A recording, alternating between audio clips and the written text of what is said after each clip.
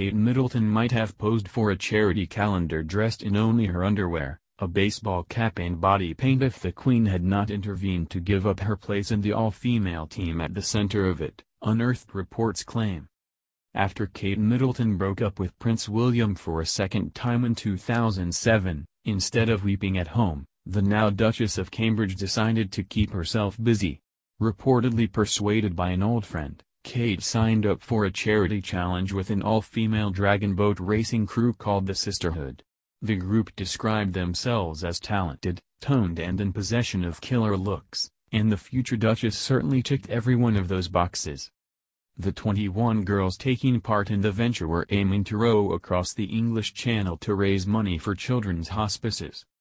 Kate reportedly joined in April that year, just after she famously broke up with the second in line to the throne. However, the couple got back together only a few months after and, in June 2007, the two were seen together again. In addition, a 2007 report by The Guardian claims that Kate had given up her place in the all-female team by early August, after the Queen intervened urging her to do so. The monarch reportedly thought the spectacle of the training sessions was getting out of hand, and feared the consequences of the excessive attention Kate was receiving. The fears over exposure were perhaps justified too, as Kate's former teammate urged her to pose for a charity calendar dressed in only her underwear a baseball cap and body paint. One of the Duchess' friend and teammate Emma Sayle told the Sunday Mirror at the time, Kate is strongly considering it, we are all leaning on her a bit. We realize if Kate was involved, sales of our Art of Sport calendar would go through the roof.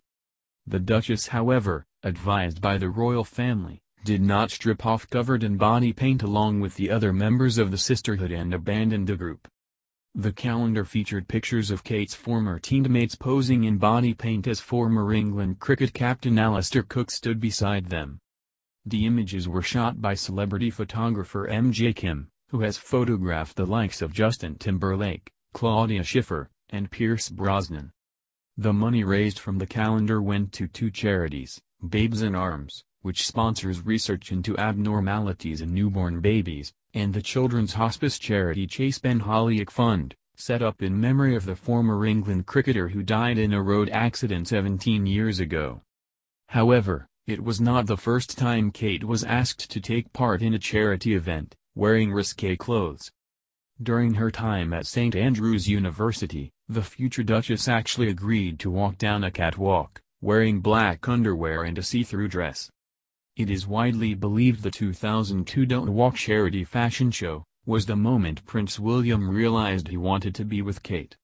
He had reportedly paid £200 for a front row ticket,